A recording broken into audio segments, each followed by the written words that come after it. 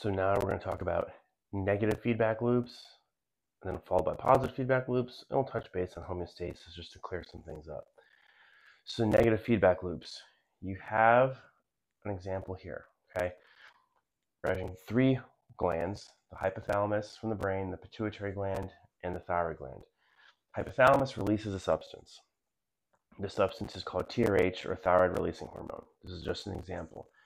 That's going to act on the anterior pituitary on some other cells to release TSH or thyroid stimulating hormone. And then thyroid stimulating hormone, the name thyroid stimulating is going to go stimulate the thyroid to produce thyroid hormones T4 and T3, right? So this cascade of events. So we have positive arrows and green lines, right? Positive, right? Because this is going to stimulate this, this is going to stimulate this, okay? Now, what's happening here is we need to regulate the amount of thyroid hormone because this is what's going to have an effect on our body, especially T3, to regulate our whole body's metabolism. So how do we not make sure T4 and T3 gets too high? How do we make sure T4 and T3 don't get too low? Well, we have to regulate this stuff. How do we regulate these, these, these stimulations here of the thyroid gland? Well, we do that through negative feedback. So negative feedback is like a system of checks and balances. So we stimulate something to increase, but we don't want to increase too much. So how do we do how do we control that, right? So TRH and TSH, they're going to lead to production of thyroid hormones.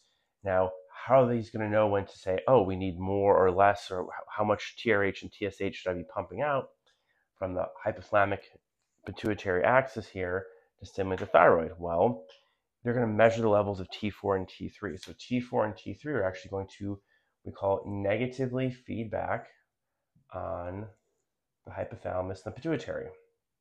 Okay, so T4 and T3 are going to negatively feedback. So we're going to put a big negative. Going to be negative feedbacks. Okay, so what is negative feedback? Well, as these are going up, just the, the presence of T4 and T3 alone are going to cause TRH and TSH to go down because they start getting higher, we're going to have more and more negative feedback. So more and more negative feedback your TSH goes down, right? So if your th- hormones are fluctuating to maintain homeostasis, this is how it happens, right?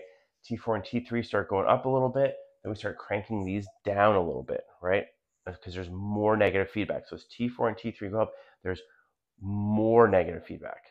That's how you have to think about it. There's more negative, there's always negative feedback, right? There's more negative feedback. So we're going to turn TSH down a little bit, make sure thyroid hormones don't get too high. Now, what if thyroid hormones are going too low. So these are kind of fluctuating the lower end. We want to turn our thyroid hormone up. Well, there's still negative feedback, but now we have less negative feedback. If there's less negative feedback, well, then we'll crank up TRH and crank up TSH. We'll crank up the dial to stimulate the thyroid to make more T4 and T3 until they start going up a little high, too high, and then we'll have more negative feedback and we'll crank it down. So to we use negative feedback loops to maintain homeostasis. So it's a way of depending on the amount of feedback, either you know cranking this dial up or down. So that's what controls the dial. Hey, how should we turn this dial up or down to make a kind of a set point, just like with like body temperature or you know pH. We want to maintain those things to maintain homeostasis. Well, we need to keep that as a set point, right? So it's all about this feedback. Now we call it a loop because look at this. This goes around and around. This is constantly working your whole life. As long as everything's functioning, this is a loop, right? stimulate the thyroid, make thyroid hormone, thyroid hormone feeds back here, and then negatively feeds back around and around and around. So that's a negative feedback, and that's why we call it a loop because it is creating